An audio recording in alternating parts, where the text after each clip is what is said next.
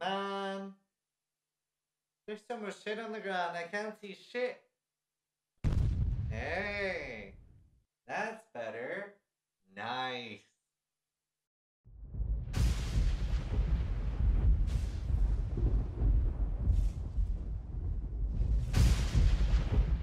Hi, Zizaran here. I just wanted to make a really short video.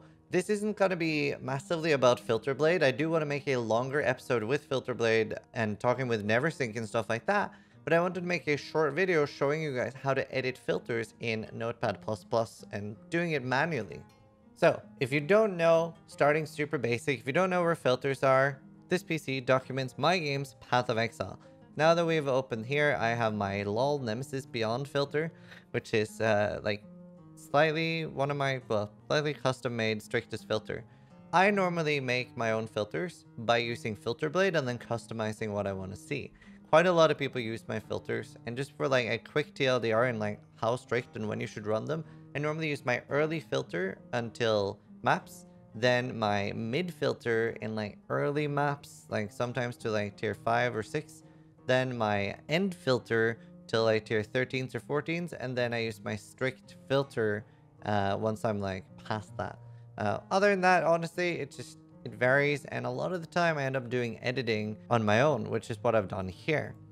So, how do we get to this point? Normally, what I'll do, just to make it super quickly, I'll just scroll down here to get something randomly. I don't really care what this is because we're going to customize. We're going to gut it and, uh, and customize it. Let's go grab something as an example that we can use so we make sure that it's working. This is really good uh, to do with, say that you do want to find a Vaal Axe, but you want to like verify that it's working as well. So we're going to grab an Abyssal Axe, right? Doesn't need to be an axe, but you know, that's the other base type that we're going to grab here. I've grabbed a Abyssal Axe. This is just for testing. Now I'm just going to grab something, right? Uh, I usually like to make sure that I, I, just, so I don't have to remember everything. Here I'm like, oh, okay, cool. It's this purple diamond and it has a play alert sound. That's normally what I'll go and grab, so I don't have to rewrite everything from scratch because I don't actually remember everything.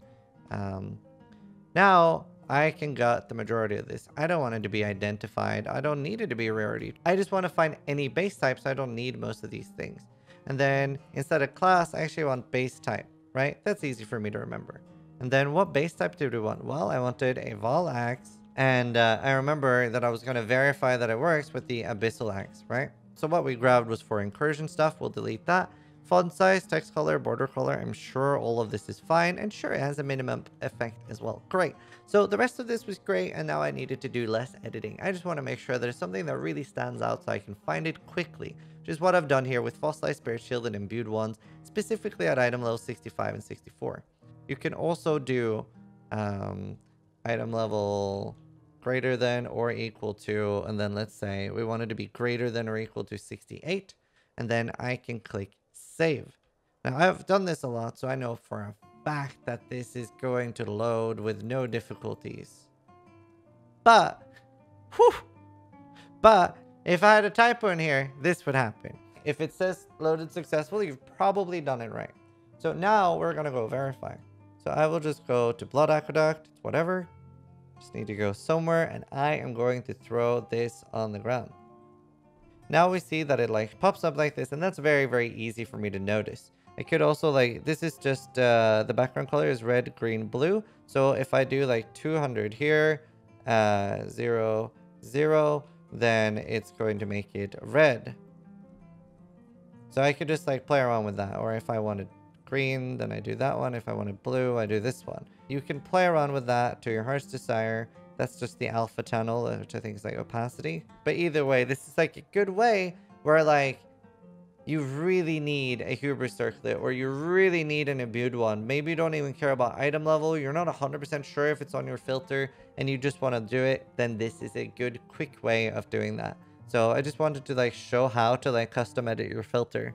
And now we can make sure, like, for example, say we only want an item, item level 83 here, I can just do that, and this is not going to be shown anymore because it is only item level 69.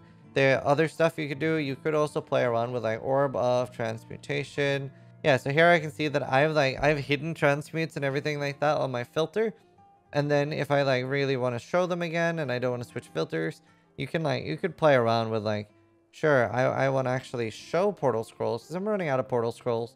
Um, or I could move things up and down between uh, places. Like it is pretty easy to to get a handle on how to like custom edit these. But the main thing I really wanted to show was that like you can very easily search for base types like that. I am probably going to make like a more in-depth episode too, talking about filter blade and how to like set up your custom filters like I do. But uh, I just wanted to make a quick one with Notepad++ and stuff like that. So I hope that helps you guys. Hope you guys are enjoying the videos. Hope you guys are enjoying Ritual League. Sub if you like the videos. But more importantly, try to die less than I do.